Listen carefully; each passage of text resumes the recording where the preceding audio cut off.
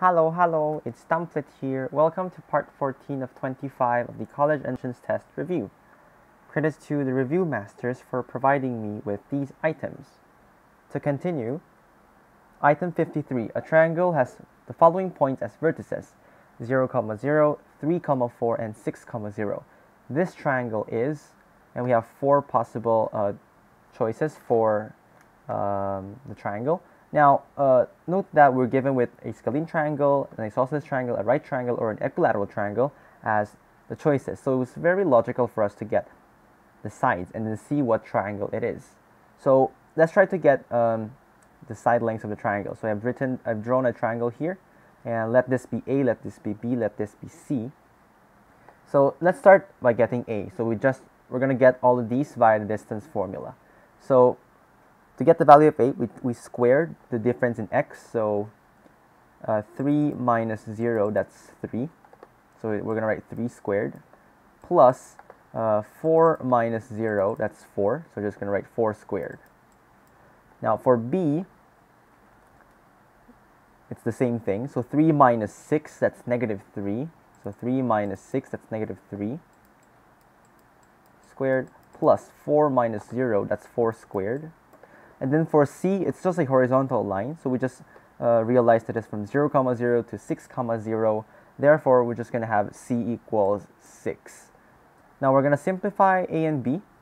Note that 3 squared plus 4 squared, that's equal to 25 squared.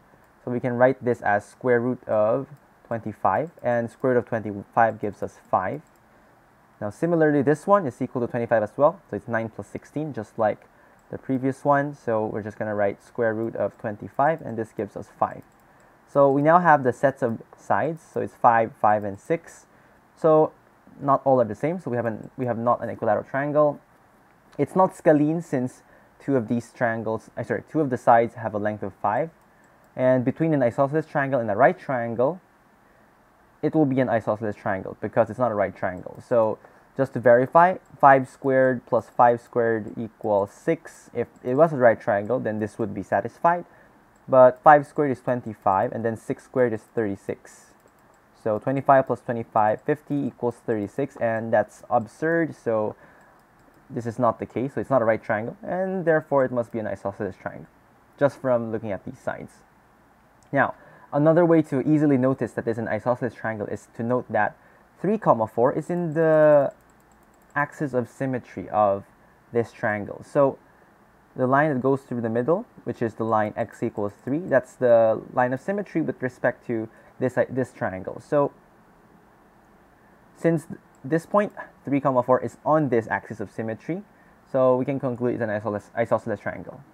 So there's a lot of ways to do it, but we're going to get the same answer nevertheless. Item 54. The diameter of a wheel is 6 centimeters. How many complete revolutions will the wheel make if it rolls a distance of 108 centimeters? I said 108 pi centimeters. So it's very important to note that if we have a circle and then a point here, oh sorry, a point here. So as the circle rolls, for example, to the right, this point is going to go around the circle and the next time it hits this point again, so the next time it's going to be uh, the next time it's going to be back in its original position would be one revolution. So the circumference of the circle, the circumference of the circle in short, so that will equal one revolution. So one revolution, so I'm using right here, one revolution is just actually the circumference, which is given by pi times the diameter.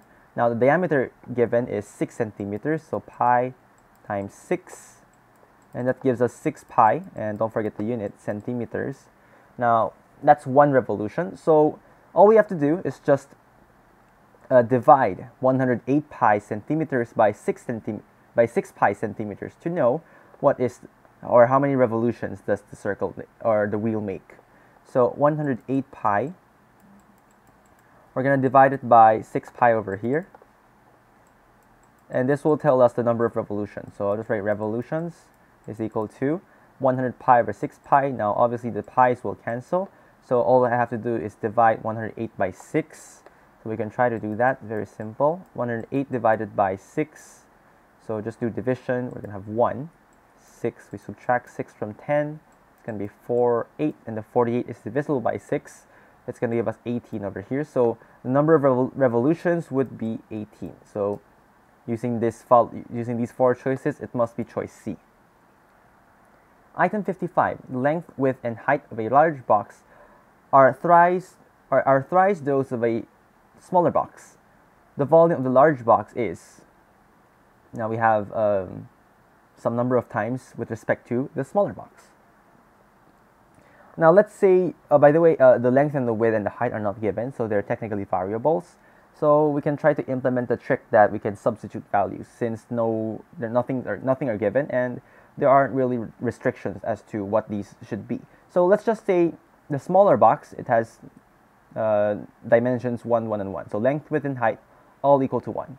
Now the large box would have 3, 3, and 3 since the length, width, and the height of a large box is thrice those of a smaller box. So the dimensions 1, 1, 1 will become 3, 3, 3. So we're just going to apply the formula for the volume of a rectangular prism so the volume is simply L length times width times height.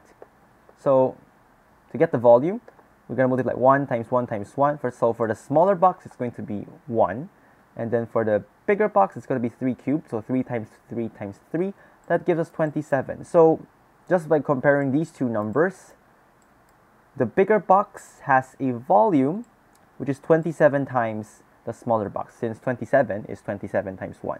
So we can cross uh, A, B, and C now, and then we're just going to answer choice D. Again, another example that we can substitute values to help us understand the question easily and to answer the question easily. Last item, number 56. On a number line, if one endpoint of a line segment is at negative 12, as seen here, and its midpoint is at negative 4, as seen here, then the other endpoint is at somewhere. Uh, so we have four options here. Now, it's very nice that we have a number line here for reference. So if we can if we can try to draw, then it would be nice since there's a visual representation for us.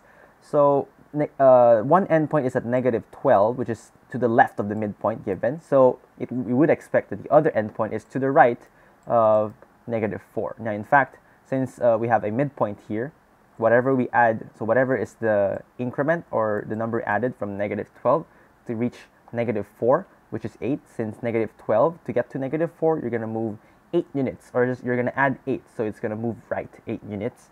So we're just going to do it again to find the other endpoint. So from negative 4, I'm going to have plus 8, and then whatever this number is, and we can solve it easily, it's going to be 4.